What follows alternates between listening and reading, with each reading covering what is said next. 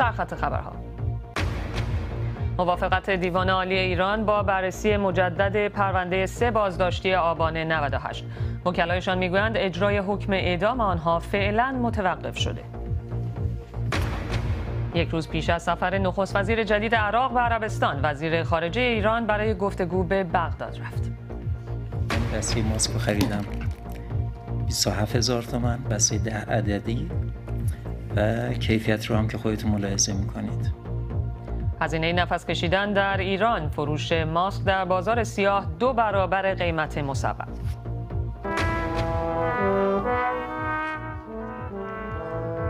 و موسیقی، شنا، قایق سواری و آزمایش کرونا زیر آفتاب داغ. جشنواره تابستانی پاریس آغاز شد.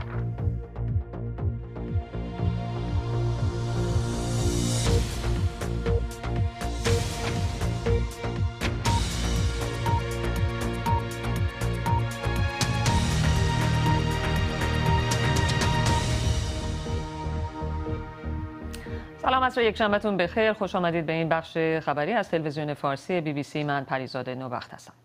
وکلای سه جوان محکوم به اعدام در پرونده اعتراضات آبان 98 در ایران اعلام کردند که اجرای حکم اعدام موکلانشان فعلا متوقف شده. به گفته آنها دیوان عالی کشور درخواست بررسی مجدد پرونده این افراد را پذیرفته. امیر حسین مرادی، محمد رجوی و سعید تمجیدی به اتهام محاربه و مشارکت در تخریب و تحریق به قصد مقابله با نظام جمهوری اسلامی به اعدام محکوم شدند. اما یکی از وکلای متهمان گفت که در پرونده آنها ایرادهای فاحشه بسیاری پیدا کرده. در چند روز گذشته در شبکه‌های اجتماعی کمپینی بسیار گسترده. در مخالفت با اعدام این سه نفر به راه افتاد و هشتگ اعدام نکنید میلیون ها بار به کار رفت. از حسن نایب پاشن فعال حقوق بشر پرسیدم کارزار اعدام نکنید در فضای مجازی چقدر در توقف اجرای حکم این افراد تاثیر داشته؟ بله قطعا بسیار تاثیر داشته. در واقع این رو اگر مقایسه کنیم با دادگاه که در سایر کشورها هست میشه گفت یک هیئت منصفه بین المللی عملا شکل گرفته و خواهان این بوده که این جوانان اعدام نشوند. برای اینکه به حال این مجازاتی که هست با اعتراضاتشون با احتمالا در واقع حرکاتی که کردن اقداماتی کردن به هیچ تناسب نداشته و این یک روحی عمومی از قطعا تاثیر داشته. البته خب حرکت فعالانه وکلای تعیینی این سه جوان خب می‌دونید که به حال اونها چهار وکیل تعیینی داشتن ولی در روند بررسی عمدتا وکلای تسخیری بودند و خب یکی از وکلای تعیینی چندان نتونسته نقش داشته باشه و تازه چهار روزه که این پرونده به دست وکلای تعیینی رسیده و اونا وقتی اون رو مطالعه کردن دیدن که چقدر در واقع نقض فاحش قانون وجود داره در اون این اقدام اونها تاثیر داره. مجموعه این دو حرکت از جانب وکلا و همچنین کل کسانی که این مسئله رو تعقیب می‌کردن قطعا تاثیر داشته در اعاده دادرسی همونطور که گفتین وکلا گفتن که تازه پرونده موکلانشون رو گرفتن و تونستن روی اون کار بکنن. چقدر میشه انتظار داشت که این بار دادگاه عادلانه برای این سه نفر برگزار بشه؟ خب البته خب نمیشه قطعا گفتش که دادگاه عادلانه ای خواهد بود برای اینکه خب ما روند انتصاب قضات رو در تمام مراحل از جمله در دیوان عالی کشور شاهد هستیم ولی کن از اونجا که وکلا دسترسی پیدا کردن و مردم هم از نزدیک نظارت می‌کنن. بنابراین اینکه احکام سنگینی که اصلا متناسب نیست با جرم احتمالی وقوع یافته رو بتوانند به صورتی طرح بکنند که جرم بزرگ اتفاق افتاده خب دشوار و دشوارتر میشه. بنابراین خب این احتمال که این حکم نقض بشه بسیار بالاست. البته خب باید هوشیار بود و تلاش رو ادامه داد چون هنوز خطر کاملا از سر اونا رفت نشده و این احتمال که دوباره اون حکم تایید بشه وجود داره ولی حداقل فعلا این تعلیق شده اجرای این حکم. آقای نایب پاشا مگه میشه خیلی کوتاه فقط بگین که فکر می‌کنین برگزاری این کارزارهای اینترنتی مثل اعدام نکن چقدر می‌تونه روی وضع پرونده زندانیان دیگه تاثیر بذاره؟ قطعا می‌تونه تاثیر بذاره. به حال واقعیت اینه که جمهوری اسلامی اون چیزی که ما در شورای حقوق بشر و در محافل بین المللی دیدیم سعی می‌کنه که وجه مثبتی از خودش نشون بده حتی در این چند روز اخیر که شورای حقوق بشر جلسه داشت ما شاهد موزگیری های جمهوری اسلامی در اونجا بودیم. قطعا تاثیر داره بنابراین باید به اینجور حرکات ادامه داد. توضیحات حسن نایب شاشم فعال حقوق بشر را شنیدیم. وزیر خارجه ایران در بغداد با مصطفی کاظمی نخست وزیر جدید عراق دیدار کرد. آقای کاظمی قرار است فردا به عربستان سفر کند و پس فردا به تهران. این اولین دیدار مقام‌های بلندپایه ایران و عراق بعد از انتخاب نخست وزیر جدید است که می‌خواهد روابطی متوازن با ایران، عربستان و آمریکا داشته باشد. کسران ناجی گزارش می‌دهد.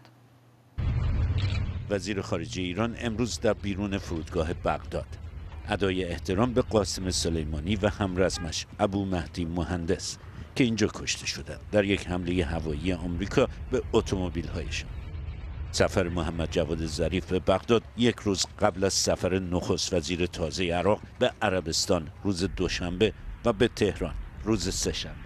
سفر من که از قبل هماهنگ شده بود فرصت بسیار خوبی رو با توجه به سفر جناب وزیر فراهم کرده که قبل از سفر ایشون هماهنگی لازم برای سفر انجام بشه.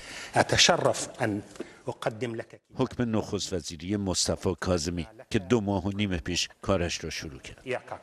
او که قبلا چهار سال مسئول دستگاه امنیت ملی عراق بود امروز تلاش دارد روابط خوبی هم با ایران داشته باشد و هم با آمریکا و با عربستان. اما معلوم نیست که این مسیر مستقل تا چه حد برای ایران قابل قبول است. تظاهرات خیابانی در بغداد و چند شهر دیگر عراق قبل از نخست وزیری آقای کازمی نشانی بود از عمق نارضایتی ها در این کشور و از جمله خشم خیلی ها از دخالت های ایران در عراق. به خصوص از طریق گروه های شبه نظامی طرفدار ایران در هشت شهر. اینجا کمی بعد از حمله یکی از این گروه ها به سفارت آمریکا بعد از کشته شدن قاسم سلیمانی در نزدیکی فرودگاه بغداد. گروه هایی که مثل ایران امروز خواهان بیرون رفتن آمریکا از عراق هستند. بسم الله الرحمن الرحیم. امروز در یک کنفرانس مطبوعاتی با همتای عراقیش وزیر خارجه ایران تاکید کرد که کشورش به حاکمیت ملی عراق احترام می‌گذارد و نقش مثبت عراق در منطقه. فواد حسین وزیر خارجه عراق تاکید داشت که عراق به دنبال روابطی متوازن است با همسایگانش. و این اولین ملاقات نخست وزیر جدید عراق با مقام های ایرانی. در ویدیویی از دفتر نخست وزیری عراق. آقای کازمی در اولین سفر خارجیش قرار است از عربستان و بعد از ایران دیدن کند و تا یکی دو هفته دیگر از واشنگتن. سفرهایی برای آرام کردن کشور و نفس دادن به اقتصاد بیجان عراق. کسرانجی بی بی سی. حسام دستپیش تحلیلگر مسائل سیاسی خاورمیانه از بروکسل با ما هستن. آقای دستپیش اما تو که در گزارش کسرا هم شنیدیم نخست وزیر عراق قراره که فردا به عربستان سفر کنه و بعدش به تهران. سفر آقای ظریف به عراق به چه معناست قبل از این سفر؟ خب ببینید قبل از اینکه آقای کاظمی به عربستان سفر کنه جمهوری اسلامی ازش درخواست کرده بود که قبلا به اونجا سفر کنه بعد سفرش رو به عربستان انجام بده. اما آقای کاظمی اینو قبول نکرده بود. موضوع برمیگرده به این که بنده فکر می‌کنم سفر آقای ظریف قبل از اینکه یک سفر عملیاتی و به مانند گذشته به ما یک بازیگر قدرتمند باشه بیشتر یک حرکت نمادین به این معنا که خب حضورش رو در عراق نشون بده. به همون ترتیب بتونه اگه پیامی رو داشته باشه برای سعودی ها از طریق آقای کاظمی بفرسته. هرچند که آقای بها عرجی معاون پیشین نخست وزیر گفته که سفر ظریف به عراق در واقع به معنای شکست سفر کاظمی به عربستان سعودی است. در مجموع می‌خوام بگم که بازی قدرت در داخل عراق بسیار پیچیده و مشکل شده برای جمهوری اسلامی و سفر آقای ظریف هم می‌تونه معنای مثبت داشته باشه به این معنا که بتونه آقای کاظمی نقشی رو در رابطه ایران و جمهوری اسلامی و عربستان سعودی ایفا کنه. بخش دومش هم می‌تونه نقش منفی داشته باشه به این معنا که با دیدار با فال فیاض که از طرف آقای کاظمی برکنار شده و از افراد خیلی با نفوذ و به طرفدار هشت شعبی خب می‌تونه سیگنال این رو بده که ما می‌تونیم هر بازی رو که امکان داشته باشه برای علیه باشه شکست بدیم. در مجموع بیشتر نشانه ها به انگر اونه که این سفر آقای ظریف ارتباط خیلی داره با اون سفری که آقای کاظمی به عربستان سعودی خواهد داشت. این اولین سفر آقای ظریف به عراق. شناختی که شما از دولت جدید عراق دارین میشه حدست که روابط ایران و عراق به کدوم سمت ممکنه بره؟ ببین مشکل اینه که سیاست خارجی جمهوری اسلامی در عراق دست وزارت خارجه و دست وزیر خارجه نیست. سیاست جمهوری اسلامی در عراق دست سپاه پاسداران و گروه است که اساسا وابسته به بیت رهبری هستند. در مجموع می‌خوام بگم که دولت در ایران در روابطش در عراق عراق هیچ نقشی نداره و نمی‌تونه بازیگر اصلی باشه. و این رو هم عراقی ها می‌دونن و هم بازیگران دیگه می‌دونن. به همین دلیل بنده فکر می‌کنم تنها نقشی که می‌تونه ظریف یا امثال ایشون داشته باشه رسوندن بعضی از پیام هاست. اما مسئله اساسی که باید به رون تاکید بشه آیا جمهوری اسلامی عراق را به عنوان یک دولت مدنی و صاحب استقلال و حاکمیت قبول داره یا نه؟ به همین دلیل بنده فکر می‌کنم این مشکل حل نخواهد شد تا به قول خودشون اگه دولت انقلابی در تهران سر کار بیاد احتمال داره اون موقع ما یه صدای مشخصی را از تهران در رابطه با بغداد داشته باشیم. آقای دست پیش همیشه کوتاه بگیم که عراق خب به دنبال اینه که با سه کشور عربستان و آمریکا و ایران همزمان ارتباط داشته باشه. چقدر این محتمله؟ خب این بازی که آقای کاظمی می‌خواد روش سرمایه گذاری کنه. ایشون برگ عربستان سعودی رو در دست داره برگ امریکا رو در دست داره. برگ تا حد حدودی ترکیه و تا اندازه خیلی کمی برگ مصر رو در کنترل داره. به همین دلیل می‌خواد از این برگ ها استفاده کنه و روابط خودش رو با جمهوری اسلامی متعادل کنه. دلیلش هم خیلی مشخصه. جمهوری اسلامی از لحاظ مشروعیت در میان نیروهای شیعه با بحران خیلی جدی مواجهه. نیروهای هشت شعبی اولین اقدامی که آقای کاظمی کرد مرز را از اونها گرفته و در عوض مرز ارعر را در با عربستان سعودی باز میگذره بله. و قراره که باز بشه. مجموع این عوامل نشون میده که آقای کاظمی اون بخشی از شیعه هاست که به دنبال استقلال یا حاکمیت در عراق که این طبیعتا به نفع یا به مطلوب جمهوری اسلامی نیست. متشکرم. از توضیحاتتون حسام دستپیش. تحلیلگر مسائل سیاسی خاورمیانه. در ادامه چند خبر کوتاه بشنویم. از ایران گزارش شده که سه شهروند کرد به حبس از سه سال و نیم تا شش سال و هفت ماه محکوم شدند. سازمان حقوق بشری هنگاو گفته دادگاه انقلاب شهرستان سقز آرمان حسینزاده، میلاد حسینی و بهمن رحیمی را به اتهام تبلیغ علیه نظام از طریق آتش زدن بنر قاسم سلیمانی و عضویت در یکی از احزاب مخالف نظام محکوم کرده. در این پرونده یک نوجوان 17 ساله به نام سینا عبداللهی هم بازداشت شده اما از وضعیت او گزارش دقیقی منتشر نشده. به گزارش منابع غیر رسمی ارز در تهران قیمت دلار امروز تا حدود 26 هزار تومان بالا رفت. قیمت سکه هم به 11 میلیون و 400 هزار تومان رسید. مقام های دولتی بازنگشتن ارزهای حاصل از صادرات و کاهش درآمد ارزی کشور به دلیل تحریم ها را از عوامل اصلی این وضعیت عنوان کردند. ترکیه مجوز پروازهای ایران و افغانستان به این کشور را لغو کرد. دبیر انجمن های هواپیمایی ایران با اعلام این خبر گفته که به درخواست ترکیه از بامداد امروز پروازهای ایران و افغانستان اجازه فرود در این کشور را ندارند. مقصود اسدی گفته که این دستور را از وزارت حمل و نقل و بهداشت ترکیه صادر شده. ظاهرا این تصمیم برای جلوگیری از شیوع ویروس کرونا گرفته شده. نظر شما را درباره تاثیر این اتفاق بر زندگیتان پرسیدیم. قبل از داستان اینکه کرونا پیش بیاد همسرم فرستادم کانادا و قرار بود خودم هم بعدش برم. و همجور که می‌دونین ویزا اپلیکیشن سنتر کانادا توی ایران وجود نداره. خیلی از ایرانیا دوست دارن که در واقع این عملیات بایومتریکشون رو توی ترکیه انجام بدن. چون هم بقیه کشورها یا ویزا می‌خوان یا هزینهش بیشتره. و خیلی هستن مثل من که کل زندگیشون میره رو هوا وقتی یه پرواز اینجوری به هم میریزه. اومدم مسافرت و محل زندگی و کارم استانبول هستش ولی متاسفانه با این اتفاقی که افتاد الان یه مقدار استرس گرفتم که دوباره کی قراره برگردم که به محل زندگی و کارم مراجعه کنم.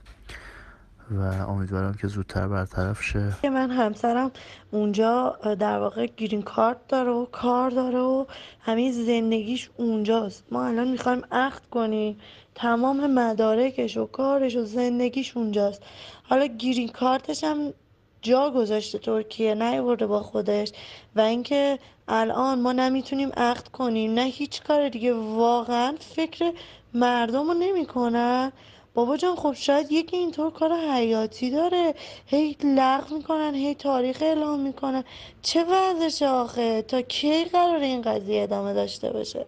کلا کارمون استاپ شده می‌تونم بگم. به هیچ صورتی کار نمی‌تونیم بکنیم. هر باری که این اخبار دست به دست میشه داخل ترکیه توسط کانال های تلگرامی که معمولا ایرانی ها و افغان ها از همین کانال های تلگرامی استفاده می‌کنن برای اینکه حالا مثلا معمولا ملک پیدا بکنن یا خرید ماشین باشه یا به حساب هر تجارتی که بخواد باشه. باز دوباره این اخبار از دیروز منتشر شده از دیشبی که ما خبردار شدیم توی کوچه خیابون ها اصلا دیگه ایرانی نمی‌بینین افغانی نمی‌بینین اجاره خونه ها کاملا داون شد. من از بهمن ماه اومدم ایران که کارم رو درست کنم کار داشتم چه همطور اصلی شدم اومدم پروازه باز شد اومدم برم دوباره بسته شد.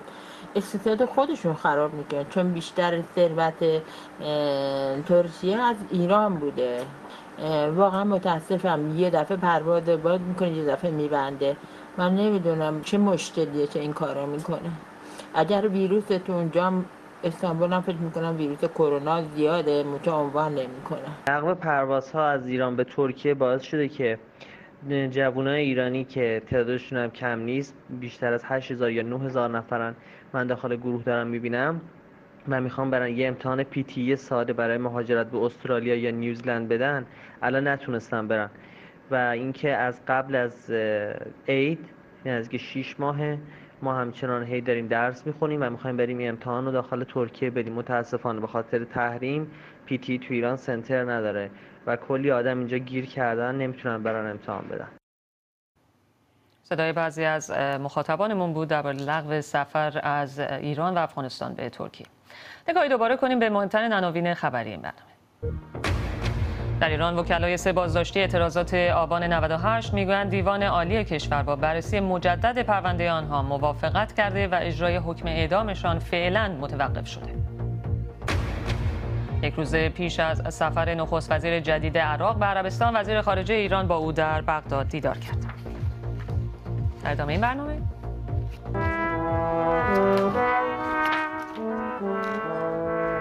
موسیقی، شنا، قایق سواری و آزمایش کرونا در جشنواره تابستانی پاریس. شمار قربانیان ویروس کرونا در جهان از 600 هزار نفر گذشت. طبق آمار رسمی تا به حال بیش از 14 میلیون و 300 هزار نفر مبتلا هم شناسایی شدند. در 24 ساعت گذشته تقریبا 360 هزار مورد جدید ابتلا ثبت شده. در ایران هم وزارت بهداشت می‌گوید طی شبانه روز گذشته نزدیک به 2200 مبتلای جدید شناسایی شده و 209 نفر جانشان را از دست دادند. فرین آسمی گزارش می‌دهد. این روزها دیدن این تصاویر عادی است. دیدن افرادی که با ماسک در خیابانها و مکانهای عمومی حاضر می شوند. مقام های مختلف هم به شهروندان توصیه می کنند از ماسک استفاده کنند. اما بعضی از گرانی آن شکایت دارند، بعضی هم می‌گویند ماسک کم است. همزمان ستاد مقابله با کرونا می‌گوید ظرفیت تولید ماسک در ایران به 12 میلیون عدد در روز رسیده. ماسکی که به داروخونه داریم میدیم ماسک سندی 1300 با قیمت مسکونه 1300 هر ماسکی غیر از این باشه خارج از شبکه است. یعنی شاید اینا ادعا کنم من قیمت من بالاتر از این دارم می‌خوام خب عرض خارج شبکه نباید بخری. با این حال تجربه شهروندان متفاوت است. این تصویری است که یکی از آنها برای ما فرستاده. یعنی یه بسته 10 تایی شو من داده 25000 تومان. دونه 2500 تومان یک شهروند دیگر هم از کیفیت پایین ماسک هایی که خریده گفته. هنوز استفاده نشده.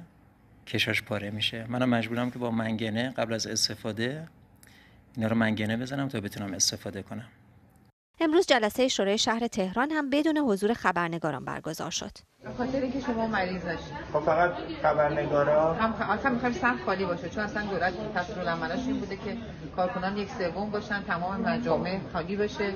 حتی در واقع همه چیز آنلاین پخش میشه. آخه جلسات غیر علنی جلسات علنی. علنی جلسه علنی خب علنی بدون حضور خبرنگارا. آره بدون حضور خبرنگارا. همزمان به دنبال توصیه دولت برای پیشگیری از شیوع کرونا اعلام شده که نمایشگاه بین المللی کتاب تهران امسال برگزار نخواهد شد. حسین زلفقاری رئیس کمیته انتظامی ستاد مقابله با کرونا هم گفته برگزاری هر گونه همایش، سمینار و گرد همایی حضوری در ایران فعلا ممنوع است و این مراسم باید آنلاین برگزار شود. اما انتشار این تصاویر از برگزاری جشن تولد برای بهشت زهرای تهران تعجب بسیاری را برانگیخته. در حالی که مقام های مسئول مردم را به شرکت نکردن در مراسم عروسی و عزا دعوت می کنند پیروز حناچی شهردار تهران و حسن خمینی نوه بنیانگذار جمهوری اسلامی کیک 50 سالگی بهشت زهرا را بریدند دو شرکت قشم ایر و ماهان ایر می‌گویند مجوز پروازهای تهران استانبول باطل شده و ترکیه تصمیم گرفته مرز هوایی با ایران را ببندد. اجرای این محدودیت ها از صبح امروز شروع شده. ترکیه همچنین پروازها به افغانستان و برعکس را به دلیل شیوع دوباره کرونا لغو کرده. بر اساس آمار وزارت بهداشت تا به حال 273788 نفر مبتلا به کرونا در ایران شناسایی شدند. از این تعداد 14188 نفر تا به حال جانشان را از دست دادند. 237656 نفر هم بهبود پیدا کردند.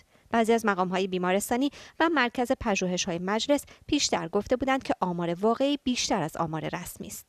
ده استان از نظر شیوع کرونا در وضعیت قرمز قرار گرفتند. استانهای آذربایجان شرقی، ایلام، بوشهر، زنجان، گلستان، مازندران، فارس، خوزستان، کرمان و خراسان رضوی.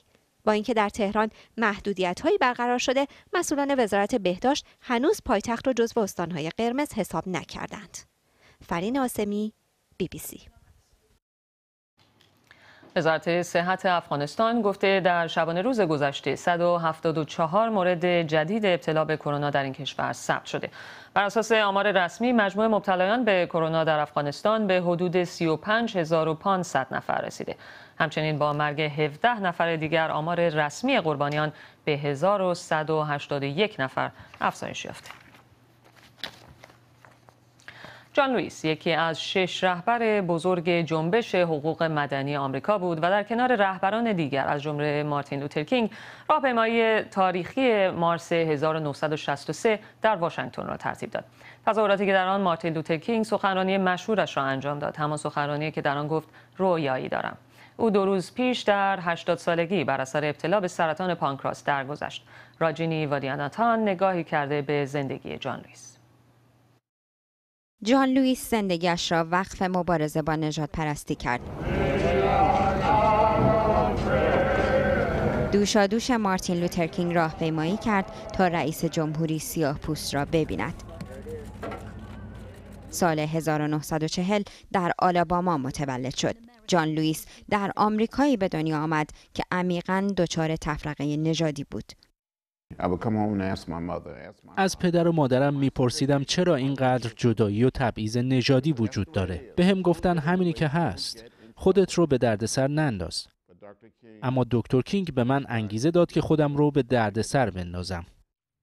به عنوان یک فعال دانشجویی از یاران نزدیک دکتر مارتین لوتر کینگ شد و با پیام عدم خشونت با بیعدالتی نژادی مبارزه کرد. در تحسنی علیه نهارخوری های مخصوص سفید پوستان شرکت کرد. گروه های سفید پوستان زمانی که به طور صلحآمیز علیه جدایی نژادی در اتوبوس ها تظاهرات می کرد کتکش زدند.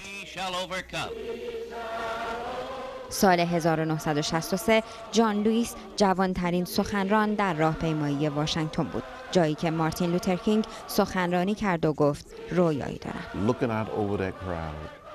به جمعیت نگاه کردم و صدها هزار جوان رو دیدم تازه از زندانهای جنوب آزاد شده بودند تازه از کشمکش های خط مقدم بیرون اومده بودند آماده بودیم تا به اصل آمریکا برگردیم و مبارزه کنیم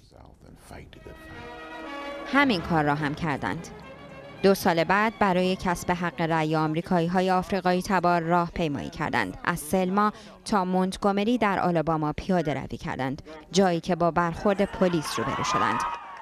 تا رسیدن پنجاهمین سالگرد آن راهپیمایی جان لوئیس سیاستمدار شده بود و به او لقب وجدان کنگره آمریکا را داده بودند. این افتخار نادریه که در زندگی دنبال روی یکی از قهرمانهات باشی. جان لوئیس یکی از قهرمانهای منه. باراک اوباما به او مدال افتخار آزادی داد. بالاترین نشان افتخار مدنی آمریکا در سن 70 سالگی. پارسال مشخص شد سرطان پانکراس دارد. او در اعتراضهای پس از کشته شدن جورج فلوید دیده شد. باید ایمانمون رو حفظ کنیم و از غرورمون چشم بر نداریم. جان لوئیس در دوره های مختلفی از جنبش حقوق مدنی زندگی کرد. شعارش ساده بود. هرگز تسلیم نشو و خودت را نباز. مردم پایتخت فرانسه با افتتاح پلاژ پاریس این جشنواره تابستانی را جشن گرفتند. هر سال با آغاز این جشنواره کرانه رودخانه سن به ساحل تبدیل می شود. البته امسال به خاطر همهگیری کرونا فعالیت ها محدودتر است. با این حال فعالیت جدیدی هست که به نظر محبوب هم شده. تانیا دندرینوز گزارش می‌دهد. تابستان رودخانه سن هر سال کرانه این رودخانه در پاریس به ساحل تبدیل می شود. از قایق‌های پدالی گرفته تا قایق‌های بزرگتر. مردم زیر نور آفتاب از تماشای فیلم در فضای باز لذت می‌برند. برای شهردار افتتاح جشنواره پلاژ مثل باز کردن پنجره امید است. همیشه دلم می‌خواست باور کنم که یه روزی در جشنواره پلاژ پاریس شنا می‌کنیم. می‌دونستم که این اتفاق میفته می‌دونم که خیلی از اهالی پاریس مسافرت نمیرن و این مهمه که مثل همیشه مقاومتشون رو نشون بدن. اونها این ظرفیت رو دارن که در برابر همه بحران ها مقاوم باشن. پلاژ پاریس به این کمک می‌کنه. این جشنواره راه خوبی است برای فرار از مشکلاتی که جهان را فرا گرفته. همهگیری کرونا ذهن همه را مشغول کرده. امسال در کنار رودخانه آزمایش کرونا هم می‌گیرند. این زن می‌گوید همه احتیاط های لازم را رعایت می کند اما به نظر می رسد عده زیادی بی احتیاطی می کنند. بسیاری در مترو و قطار ماسک نمی زنند. آزمایش کرونا در دو مرکز صورت می گیرد. جشنواره تا آخر ماه اوت ادامه دارد. هم آزمایش کرونا می گیرند هم آزمایش پادتن تا کسانی که قبلا کرونا داشتند شناسایی شوند. روزانه از 150 تا 200 نفر آزمایش می گیرند. برای من مهم اینه که بدونم الان کرونا دارم یا نه. این برام مهمتر از آزمایش پادتنه. کرونا در فرانسه تا حالا جان بیش از سی هزار نفر را گرفته. ویروس تا حد زیادی کنترل شده اما با افزایش آمار ابتلای روزانه نگرانی این مردم که برای لذت از تابستان به اینجا آمدهاند هم بیشتر می شود. BBC News به پایان بخش خبری رسیدیم ممنونم از همراهیتون با تلویزیون فارسی بی بی سی.